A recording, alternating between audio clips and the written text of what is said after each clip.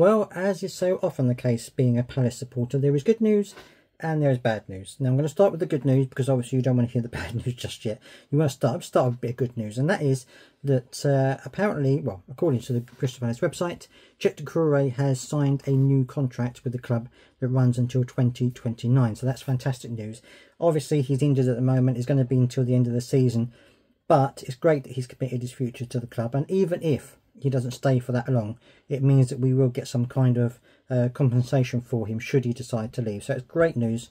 Uh, I think he's going to be a big part of um, Oliver Glasner's plans going forward next season, and uh, it means that we've got, you know, we've got a really good central midfield, uh, defensive midfielder in place there uh, for the long term, and so that's absolutely fantastic. I'm really pleased that uh, that that has happened. Hopefully, we'll get a few more players committing their long term futures to Crystal Palace, such as Anderson and Guéhi. However, this is the bad news. Um, bad news regarding Marc Guéhi is that he's had to have minor knee surgery.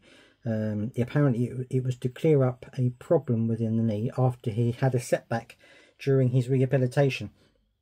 That means that he's going to be out between six to eight weeks um, before he's uh, before he's probably even going to be back in training.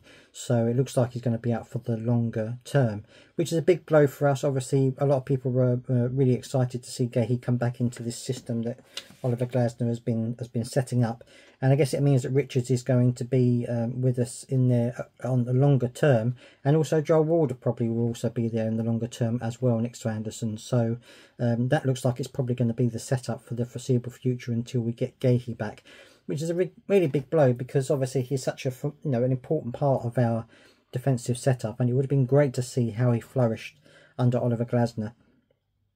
But it is uh, unfortunately a bit of a setback. But uh, hopefully he will uh, he will do well in his recovery and come back as soon as possible. So it's news on two injuries, unfortunately, but at least we're not Manchester United, who have uh, just announced that they've got three players now. Three more of their players have gone down with injuries, so uh, it's a big it's a big situation at the moment in the Premier League. I have to say, you know, there are injuries amongst teams across the Premier League. You know, there's numbers of injuries coming coming through.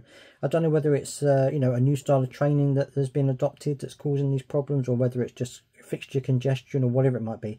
But it just seems to be this year. There's so many injuries amongst the uh, amongst the Premier League clubs. Um, I really don't know what to uh, what to make of it. But anyway, let me know what your comments are on those two bits of news regarding the club, and uh, and I will see you next time. Well, actually, I'm going to be um, doing the uh, pre-match uh, interview reaction to Oliver Glasner before the Tottenham game. So don't forget to subscribe and stick around for that as well. I'll see you next time.